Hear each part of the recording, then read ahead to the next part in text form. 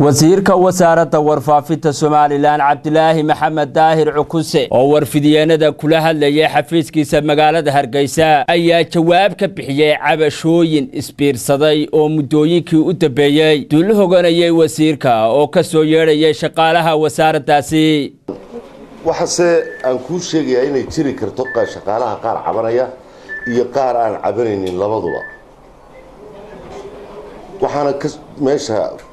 ay ka soo baxaysaa ay tahay. Halkan waxaanu ka sameynaynay reform. Marka hore horta waan kuu sheegayaa shaqaalaha wasaaradda warfaafintu shaqaalaha dowladda kuwa ugu ladan bay ku jiraan. Mudane wasiiriin waxaa ka socda telefishinka caalamka stan waxaan jecelahay inaan su'aalku weydiino. Muddooyinkii u dambeeyey waxaa la leeyahay intii wasiir cabdilaahi cukuse wasaaradda loo soo magacaabay. Wasaaradda si buuquma uga jira. Mana leeyahay agaasimaha iyo wasiirkaa isyarhaya mana leeyahay shaqaalihii bay cabash ka cabanaya in arrinta caynkaasi adigu ma qabta may ma qabo anugu waxaan qabaa laakiin tii aan ka mahmaahayay baan qabaa. Waxaa jirta wasaaradda warfaafintu anigaa idiin sheegayoo saxaafadii madaxa banaanayd oo adigu aad ka mid tahayna waa ka mid. Wasaaraddii warfaafintaoo lix boqolina waa ka mid. T v iyo muraayado layska arkay leedahay. Jaraa'id bay leedahay.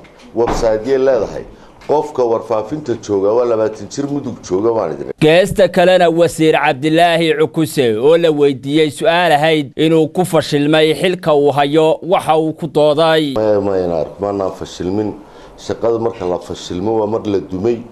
Shaqadana waa shaqo caadihoo la hayay.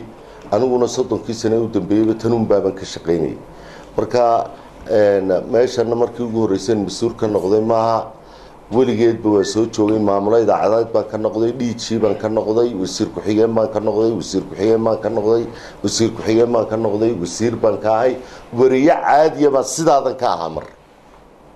Marka waxaan ku leeyahay maanaan ku fashilmine laakiin dadka shaqaalaha aada maanta arkaysayna lixda boqol ee qofee shaqeeya may hayn majoritigiina may ismaaciilo inaad ka run sheegto weeye yeelko laakiin intay doonaanba ha ahaadaane ilaahw lababa ha ahaadaane shanba ha ahaadaane annaga waxaa nagu waajiba qof shaqaalaha oo cawday inaanu qancino